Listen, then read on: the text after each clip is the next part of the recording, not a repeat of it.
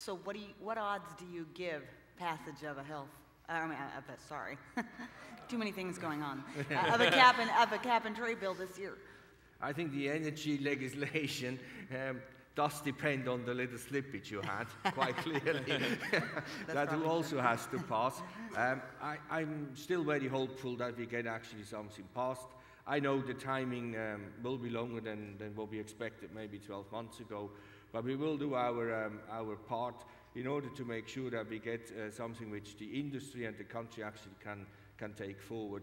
But I think we are in for um, uh, a longer period before we get something. W- Would you, would you make a money bet on it passing this year?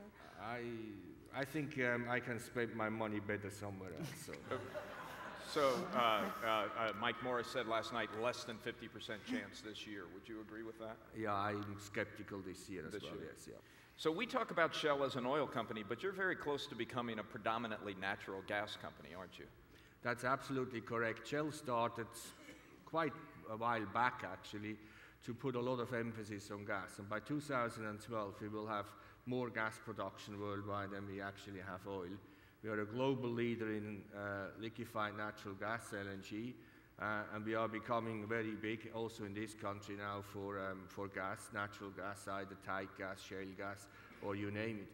So this has been a, a journey of 20, 30 years, which we have used actually our technology and innovation in order to drive the gas development on a worldwide basis, because let's face it, it has 50, 70% less CO2 than, than coal, for example, and that's exactly where we see the long-term benefit. And, and have you been, and have, has Shell been surprised at how much natural gas, the natural gas deposits that we've been able to find over the last few years? I think everybody was surprised in, in the US, and for that matter, I add Canada as well, because there's quite a bit there as well. I think that ramp up has been underestimated.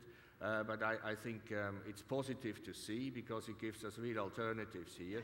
And um, we have invested, I think, since 2004, roughly $15 billion in natural gas in the US alone. And uh, I think that's, and we will actually spend much more over the next 10 years. It will be one of our major growth portfolios which we will develop. So, surprised on the one side, but we prepared it since 2002. And, and in your view, is that the big answer to our environmental problems for the next 50 plus years? I don't think there is one answer.